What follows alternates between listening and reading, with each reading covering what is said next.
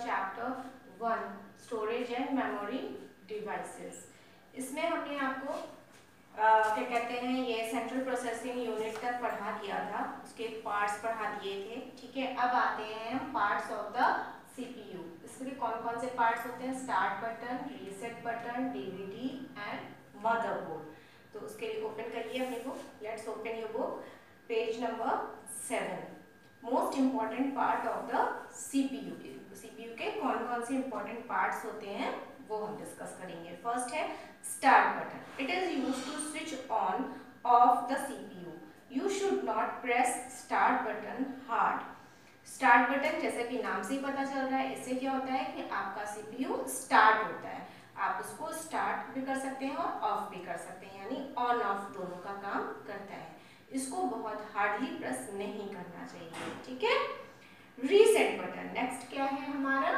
Reset button reset button is use to restart the computer without switching it off it is rarely used while working if your computer hang that is stop doing any function, abruptly press the reset button. The computer will restart from the beginning.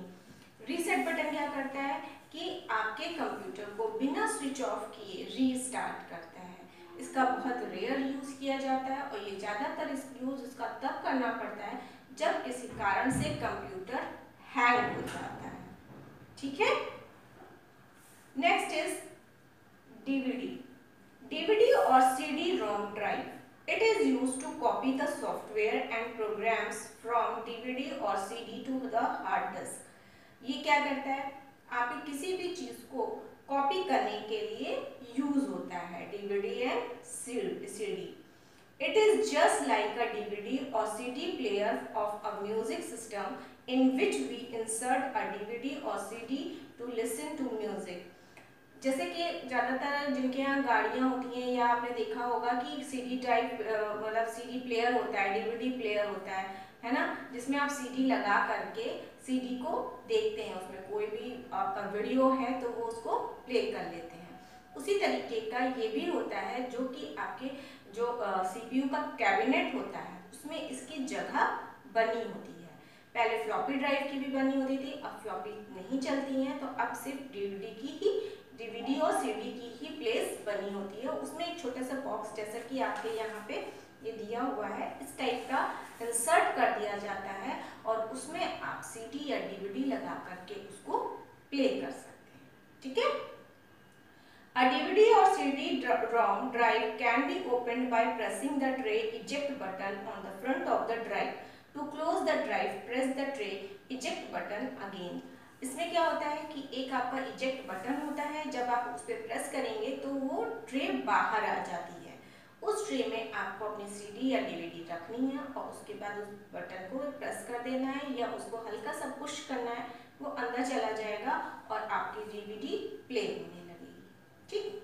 Next आते हैं motherboard CPU and other computer hardware components are attach to the motherboard the motherboard is the main circuit board of a computer CPU में जितने भी hardware components होते हैं, वो सारे के सारे मदरबोर्ड से अटैच होते हैं, ठीक है?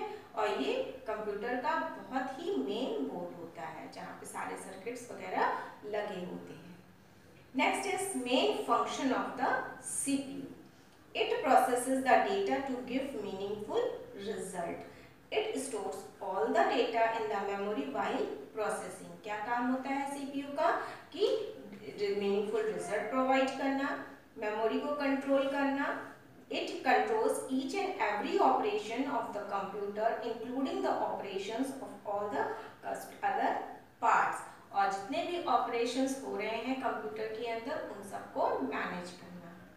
Next topic is memory and storage Memory is the basic unit of a computer where it can store data and instruction. आपका data और instruction कहाँ store होता है memory में. A computer has a memory chip that stores information. This memory chip is present in the CPU. जो भी आप काम करते हैं वो आपके डेटा आपका स्टोर हो जाता है कंप्यूटर में तो कंप्यूटर में कहाँ स्टोर होता है मेमोरी में मेमोरी चिप्स लगी होती हैं जिसके अंदर आपका डेटा स्टोर हो जाता है ठीक है memory of a computer. The memory of a computer can be classified in two types, primary memory and secondary memory. इसका चार्ट मैंने यहाँ पे बनाया हुआ है, इसको मैं आपको एक्सप्लेन कर दे रही हूँ। मेमोरी कितने तरह की होती है? दो तरह की primary memory and secondary memory primary memory again two parts में डिवाइड होती है रैम एंड रोम और secondary memory floppy disk hard disk DVD और सीडी रोम ठीक है? तो ये क्या हो गई? प्राइमरी मेमोरी जो आपकी इनबिल्ट होती है और सेकेंडरी मेमोरी जिसको आप अलग से यूज़ करते हैं। इसके बारे में डिटेल में हम नेक्स्ट सेशन में बताएँगे। आज के लिए इतना ही। बच्चों, ये आपका होमवर्क है कि आपको ये मेमोरी चार्ट आपके कंप्यूटर की कॉपी में ड्रॉ करना है। कहाँ करेंगे? आपकी इंटरलीव कॉपी है तो लेफ़्ट हैंड साइड पे ही ड्रॉ करिएगा, जो वाइट पेज होता है।